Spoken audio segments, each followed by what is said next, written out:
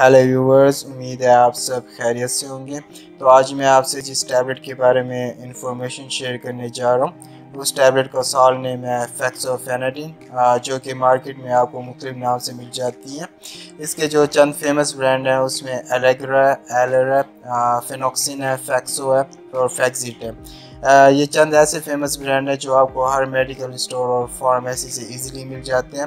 میں آج آپ کو فیکسو فینڈین کے یوزز بتاؤں گا، یہ کن چیزوں کے لیے استعمال کی جاتی ہے اور اس کے سائیڈ ایفیکٹس کیا رہتے ہیں اور اس کو استعمال کرتے ہوئے کن چیزوں کی احتیاط کرنی چاہیے۔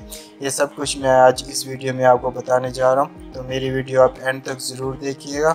سب سے پہلے آپ میرے چینل کو سبسکرائب کر لیجیے اور بیل آئیکن کے بٹن کو دبانا بالکل نہ بھولیے۔ اس سے یہ ہوگا کہ میری ہر نئی ویڈیو سب سے پہلے آپ تک پہنچے گی اور میرے فیس بک پیج کو ضرور لائک کیجیے فالو کیجیے۔ تھینک یو فیکسوفینیڈین جس کا تعلق اینٹی ہسٹامین ڈرگس ہے۔ ہاں، یہ ایسی ڈرگز ہوتی ہیں جو کہ الرجی کو ٹریٹ کرنے کے لیے الرجی کی سمٹمز کو ٹریٹ کرنے کے لیے استعمال کی جاتی ہیں۔ وہ لوگ جن کو سیزنل الرجی ہو جاتی ہے اون الرجی میں جو ان کو سب سے بڑا پرابلم ہوتا ہے وہ یہ ہوتا ہے کہ ان کی آنکھوں میں خارش ہوتی ہے، آنکھوں میں پانی آنا شروع ہو جاتا ہے، ناک میں خارش ہوتی ہے، ناک میں پانی آنا شروع ہو جاتا ہے یا ناک بند رہنا شروع ہو جاتا ہے۔ اس کے ساتھ ساتھ ان کو بہت زیادہ چھینکیں آتی ہیں سنیزنگ ہوتی ہے، کان میں خارش ہوتی ہے اریٹیشن ہوتی ہے۔ یہ چند ایسی علامات ہوتی ہیں جو آپ کو الرجی کی طرف لے جاتی ہیں۔ اس کے علاوہ وہ لوگ جن کو باڈی پر بہت زیادہ خارش ہوتی ہے پریک دانے نکلتے ہیں یا باڈی پر ریڈنس ہوتی ہے۔ جس کی وجہ سے بہت زیادہ ایچنگ ہوتی ہے۔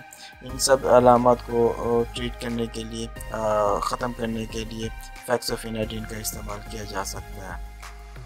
جہاں تک فیکسوفینیڈین کی ڈوزج کی بات کی جائے تو فیکسوفینیڈین آپ کو sixty M G one twenty M G اور ون ایٹی ایم جی میں ایزیلی مل جاتی ہیں۔ اس کی جو ڈوز ہوتی ہے، وہ پر ڈے آپ ون ایٹی ایم جی دن میں ایک دفعہ استعمال کر سکتے ہیں یا سکسٹی ایم جی دن میں تین دفعہ یا دو دفعہ استعمال کی جا سکتی ہے۔ اس کی جو میکسیمم ڈوزج ہے پر ڈے وہ ون ایٹی ایم جی ہے یعنی آپ نے ون ایٹی ایم جی تک پر ڈے استعمال کرنی سے زیادہ استعمال نہیں کرنی اور اگر اس کا استعمال one eighty M G per day سے بھی زیادہ کیا جائے تو کچھ سائیڈ افیکٹس سامنے آ سکتے ہیں۔ ان سائیڈ ایفیکٹس میں یہ ہے کہ آپ کے سر میں درد رہ سکتا ہے، کمر میں درد ہو سکتا ہے گلے میں خراش ہو سکتی ہے، گلے میں درد ہو سکتا ہے۔ اس کی سب سے بڑی بات یہ ہے کہ یہ دوسری اینٹی ہسٹامین کی طرح فیکسوفینیڈین ڈراؤزنس نہیں کرتی۔ تو وہ لوگ جو سٹیریزین یا دوسری اینٹی ہسٹامین استعمال کرتے ہوئے اس چیز سے ڈرتے ہیں کہ ہمیں نیند آئے گی یا کچھ ایسا ہو سکتا ہے۔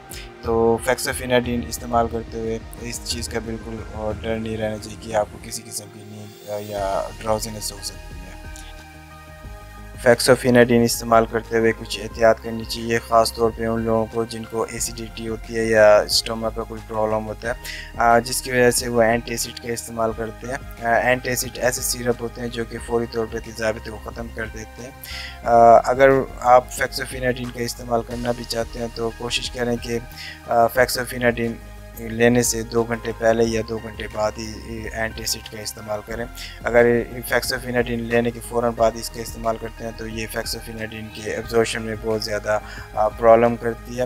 فیکسوفینیڈین لیتے ہوئے ایپل جوس اورنج جوس اور گریپ فروٹ کا بھی استعمال نہیں کرنا چاہیے۔ تو امید ہے آپ کو میری ویڈیو پسند آئی ہوگی اور میرے چینل کو سبسکرائب کرنا بالکل نہیں بھولیں گے۔ Thank you